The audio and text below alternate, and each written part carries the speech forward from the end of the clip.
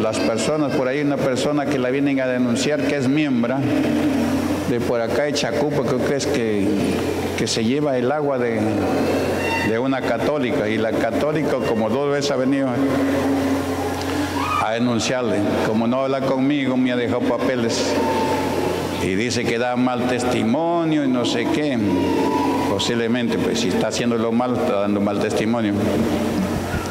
Ya está bloqueada y el domingo vamos a conversar.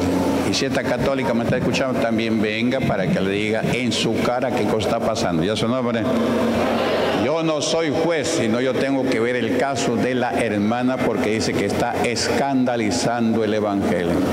Claro, meterse en problemas con otra persona, uno escandaliza. Jesús dice, el que quiere venir en pos de mí, niéguese a sí mismo y haga lo que yo digo. Si te quitan el agua, dale un poquito más de agua. Aleluya. Si tiene hambre, dale de comer. Y si te dan acá, ponle la otra. Eso hace un cristiano que quiere ser salvo. Ya su nombre. Pero que me esté llevando el agua de, la católica, está mal, está, está robando.